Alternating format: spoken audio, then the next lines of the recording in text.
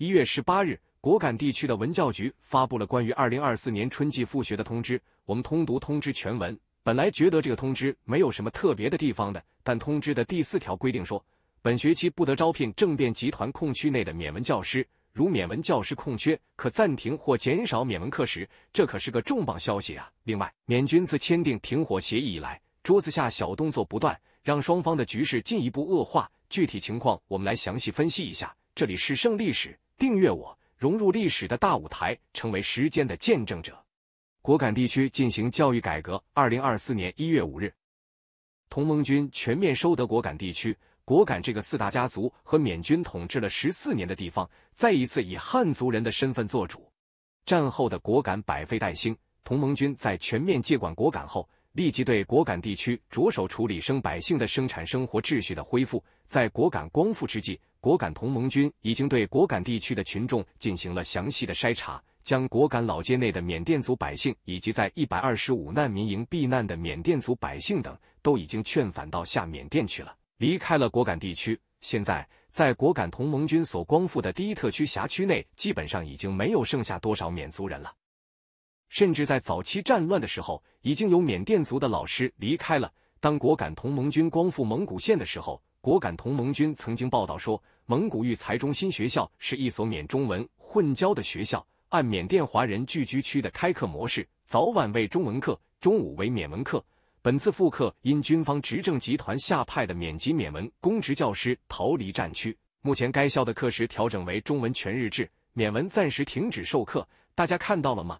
当果敢同盟军开展一千零二十七军事行动以后，有些学校暂停上课后又复课了，但其中的缅文老师都已经逃离了战区，他们很可能回到了下缅甸去，所以现在在果敢第一特区可能已经找不出多少缅文老师了。在此背景下。如果第一特区规定本学期不得招聘政变集团控区内的缅文教师，那么缅文老师的师资资源是非常紧缺的。或者我们可以这么认为，就是现在在果敢第一特区内，学校里面基本上没有多少缅文老师了。如缅文教师空缺，可暂停或减少缅文课时，我觉得这一句话承接前面那个条件意义更加重大。大家都知道，长期以来，缅甸军政府为了强化其在果敢地区的殖民统治。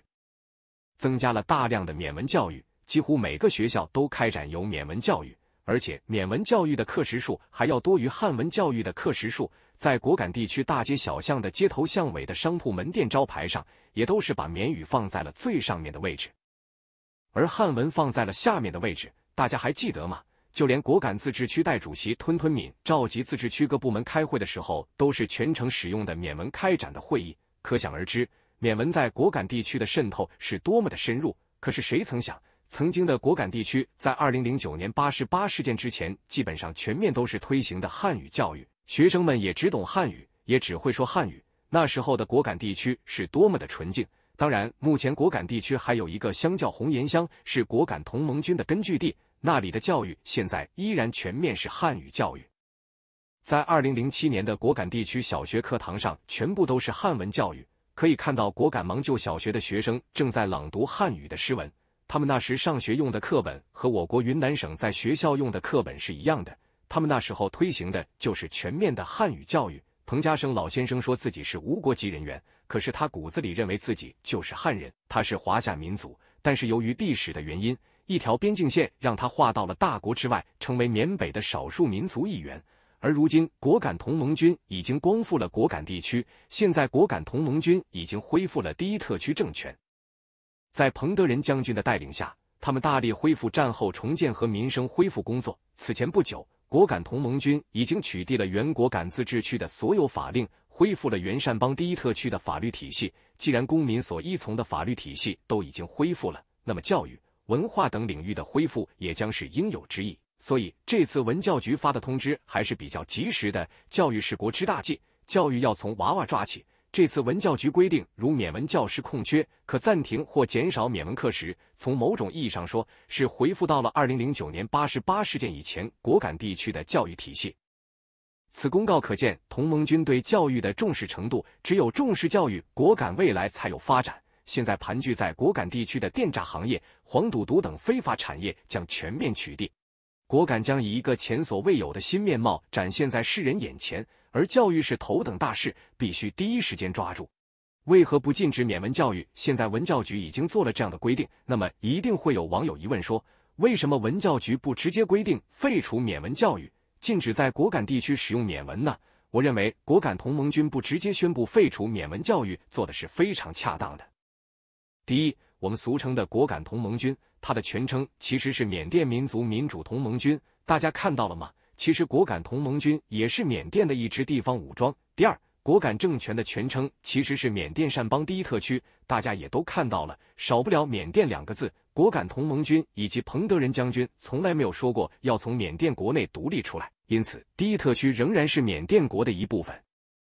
这样看来，在果敢地区进行一定量的缅文教育也是符合情理的。那么，文教局如果直接废除缅文教育的话，可能与这一逻辑不相符合。缅军炮击孟密和蘑菇，果敢同盟军在一月五日全面收复老街后，缅军与缅北三兄弟在大国协调下开始进入第三轮停火谈判，并于一月十一日晚上最终才敲定临时停火协议。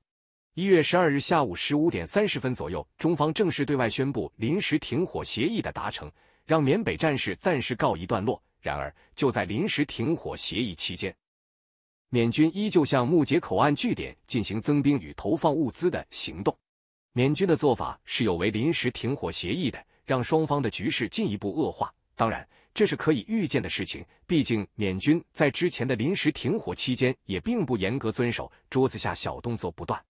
据德昂军报道，缅军在临时停火协议期间，即一月十三日至一月十四日，缅军依然向善邦北部木姐据点进行增兵及运送物资行动。另据木姐当地居民反映，在临时停火宣布后，缅军每天都按时空投再次物资到木姐缅军据点。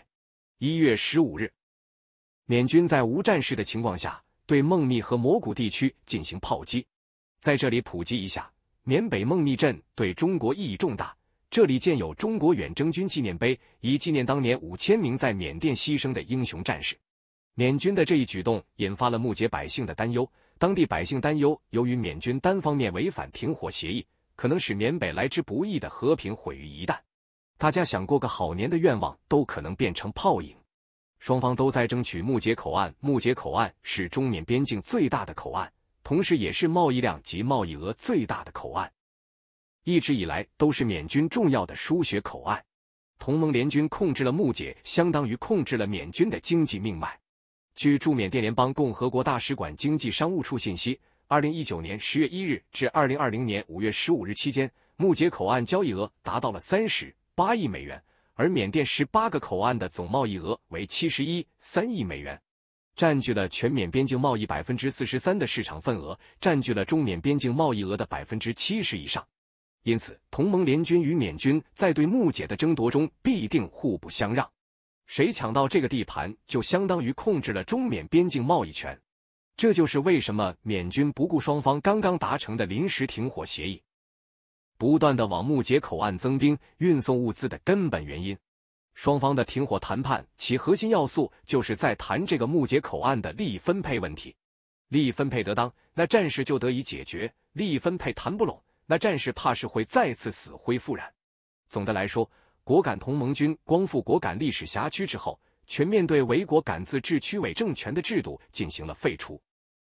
果敢地区可谓是面目一新，实现了日月换新天的新变化。从对所有机动车车辆全部换发新牌照，到全面恢复善邦第一特区以前的法律法规体系，都是这种崭新变化的体现。昨天，果敢的文教局又发布了关于二零二四年春季复学的通知。通知中关于缅文教育的规定可谓是精彩之至。果敢地区在文教领域的改革，更是果敢地区日月换新天变化的不可或缺的重要组成部分。语言承载着族群文化，语言承载着族群认同，语言更承载着族群文明。我相信，果敢地区在文教领域的改革，将是果敢日月换新天变化的浓墨重彩的重要内容。此外，在临时停火期间，缅军仍在向缅北增兵和运送物资。缅军违反停火协议，轰炸同盟军控制区，恐引发新一轮战事爆发。大家觉得呢？这里是胜利史，订阅我，融入历史的大舞台，成为时间的见证者。